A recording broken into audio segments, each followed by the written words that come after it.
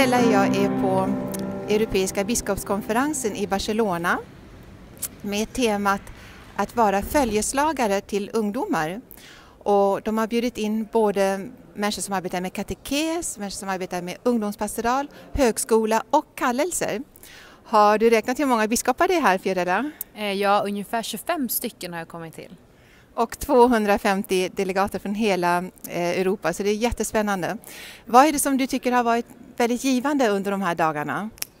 Ehm, ja, eh, speciellt igår så var det en syster som pratade och lyfte upp eh, ungdomarnas perspektiv.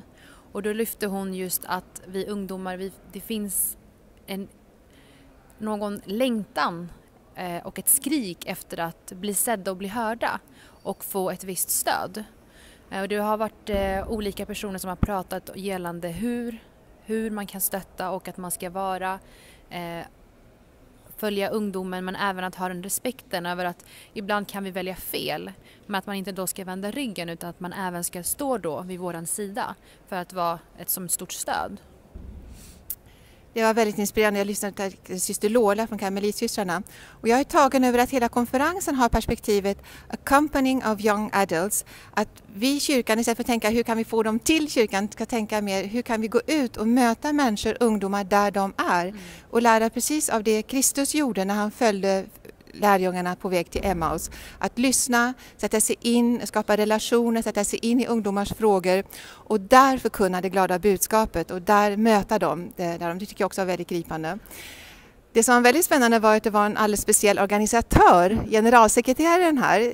Vill du nämna vem han var? Ja, fader Michel Remery. Och han är särskilt aktuell nu eftersom vi har en bok av honom på gång. Father Michel, Tell me, why was it important for you to write this book, Tweeting with God?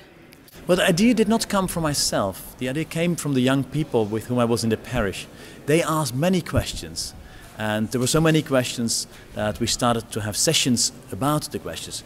Not me giving the answer simply like that, but we were looking together for what the answer could be. And the questions range from everything which has to do with faith, questions that are important to young people. And I am sure that questions are also important for young people in Sweden. That's why I invite all of you to come to Vatstina, and I do hope to meet you over there. God bless you.